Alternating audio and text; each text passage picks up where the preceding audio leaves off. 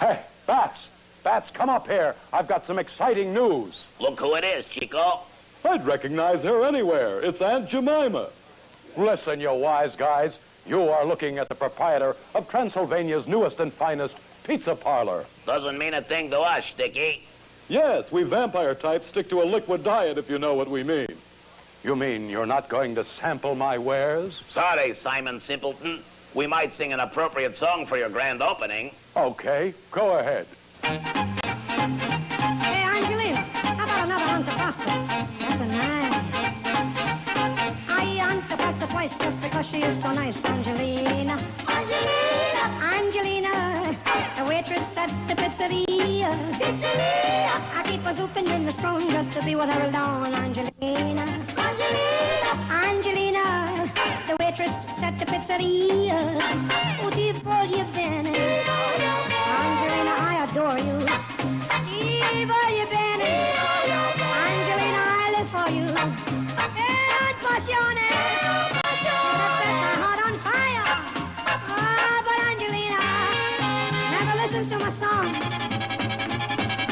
A cutlet parmesan so that I can gaze upon Angelina. Angelina, Angelina, the waitress at the pizzeria. Pizzeria, if you'll be a, my cara mia, then I'll join in matrimony with the girl that serves for money. Angelina will be mine.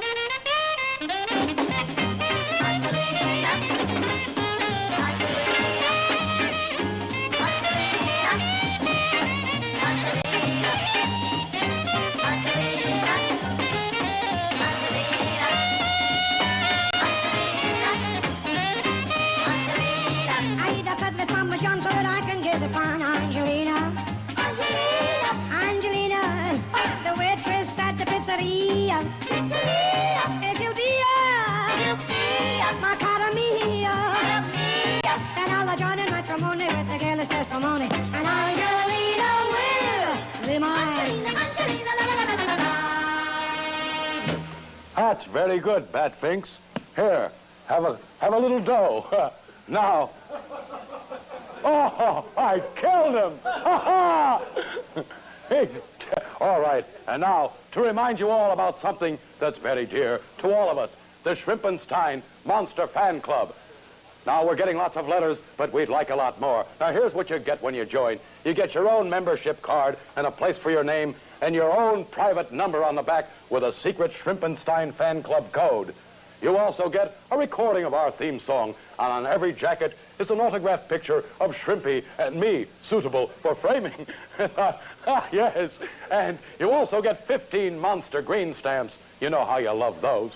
And every month you get a mini letter telling you about wonderful activities and special privileges that you can only enjoy when you belong to the Shrimpenstein Fan Club. Now, here's how you join. Just send a... Yes?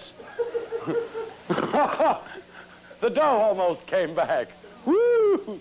All right, here's how you join Shrimpy's Fan Club. Send a dollar to Shrimpenstein, P.O. Box 3031, Hollywood, California, 90028. And on your return address, include your own zip code number so that your card and good stuff will get to you as soon as possible. Okay. And now, where am I going? I was going to walk out. How are we going to have what now? Wilfred's window! Roll 'em, Wilfred!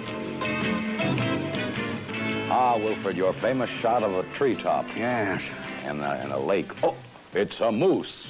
That's right. Yes. I shoot these films so it proves to the tax man I'm really on location, see? Are you bothered by the tax man? Well, life is very taxing for a wolf, I'll tell you that. I bet it is. Well, you really captured the moose at rest. I waited hours to catch a loose moose. I didn't know mooses liked water. Isn't it meese? No, it's water. Oh, huh. I guess it is. Well, one one moose doesn't like to go in the water, does he? Yeah, well, at the Moose Lodge, he used to used to being surrounded by something a little stronger in water, see? I bet he is. What is he doing in the water anyway? Washing.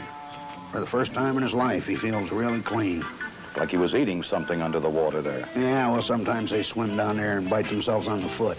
Why do they do that? Well, if you don't do it in the water, people say, look at that moose biting himself on the foot and get embarrassed. Oh, it's silly if you do it out of the water. Well, what's that? I can't see what's going on there, Wilfred. Oh, there's a bird. Yeah, he a, he a friend of the moose? Well, sort of, yeah. Yes, they seem to know each other. See, he's got a business going on upstream a bit. What kind of business? I sell second-hand animals, factory closeouts, rejects, stuff like that. Oh, yeah, business must be good the way they're running and swimming. Sure. Yeah, you can't be serious. They don't have a business like that. Yeah, picked up a good used yak. Only had 4,000 miles on him. Needed a ring job and points. Oh, is that so? Oh, yeah. Ain't much point to a yak. Not many yaks in this film either, Wilfred. Well, the moose is tired of the water. Now where's she going?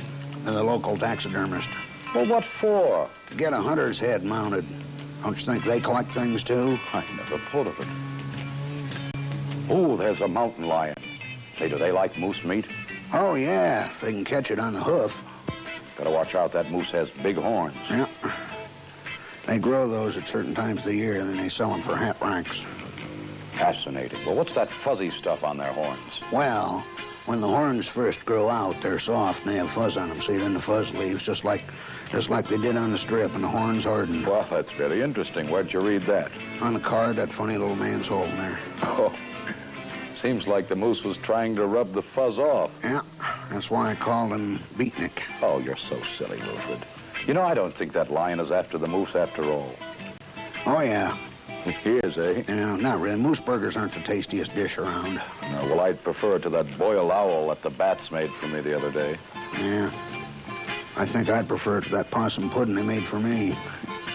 Well, then, you mean that mooses or mises, they don't kill other animals. They, they're not predators. No, no. They eat greens and browns and fruits and vegetables and TV dinners down at the lodge. Oh, then they just spend the day and night eating and sleeping and, what Yeah, else? and blowing their horns. Oh. oh, look, they're up in the snow country. Different time of year was this, eh? Yeah. Disney took them up there for some wild shots. Oh, you mean these animals are actors? Oh, yeah, sure. Right from uh, Animal Casting. Two of them cats had their own show last year. It's called uh, Moose Noose. Very big in the high country. Yes, and very high in the big country. Yeah. Well, who listens to them up there? Oh, all them woodland pixies and elves and gnomies and brownies. Oh, they have them up there, too. Oh, sure. Say, what's that hanging down in the moose's face there? That's uh, psychedelic uh, animal earrings, LSD pops. Oh, yes. Well, whatever, Wilfred. Say, with, with ugly jowls like that, how could they be attractive to their mates? Oh, well, uh, they're attractive because they carry chewing tobacco in there, saying everybody likes it. Listen, I gotta go. I hope so. Oh.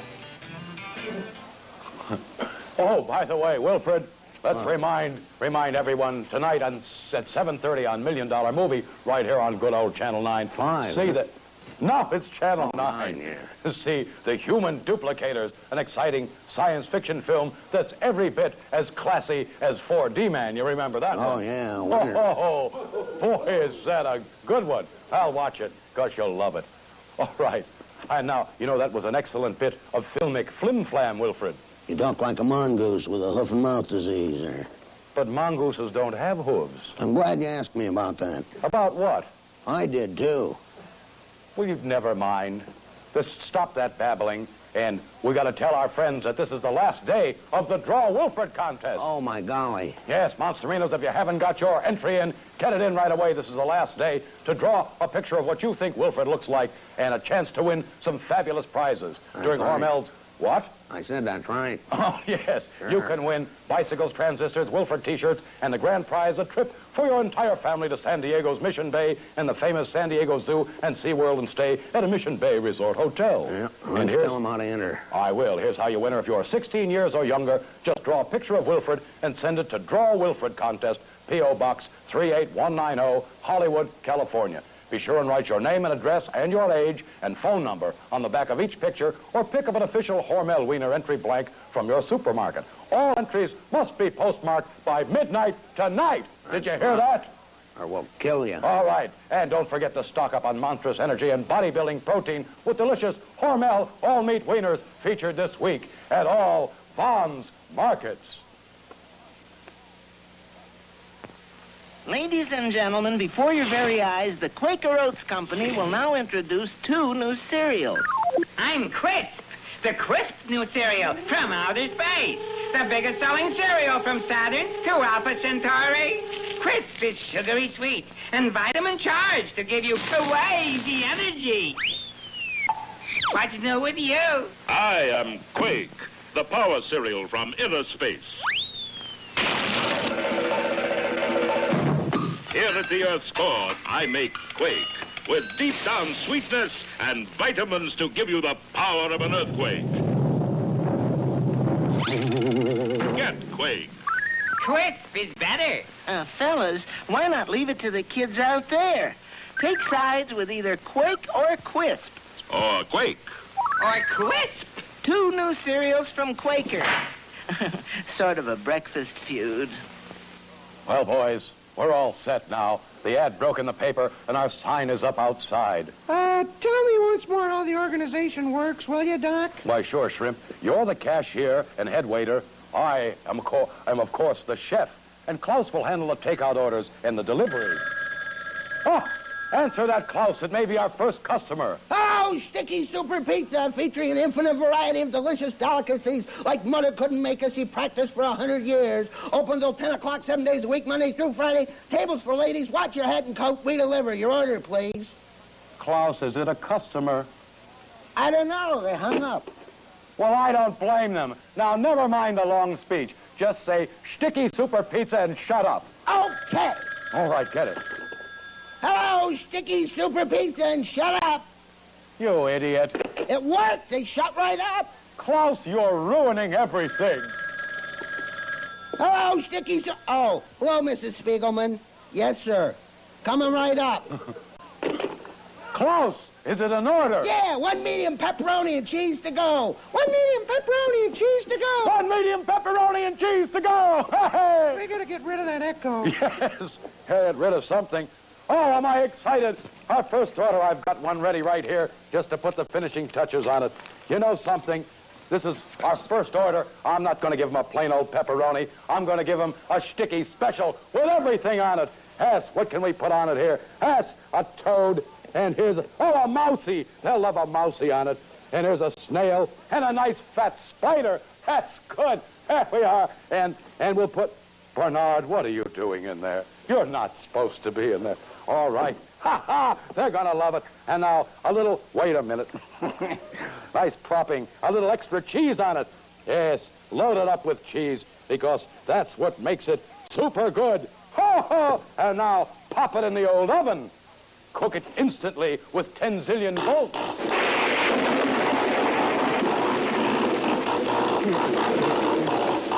Enough. You want to burn it? Ignorant zapper. Oh, it. You don't get any for that. Oh, is this beautiful? Mrs. Spiegelman is just going to love this pizza. Ha ha. A few more secret ingredients. And get a box for. Oh, hello, Myron. hey, did you come in for some pizza? Yeah. Oh, not that one. No, no. That belongs to Mrs. Spiegelman. You'll have to wait your turn. You can. Myron! Myron, wait a minute. That's not yours. Give me that pizza. Oh!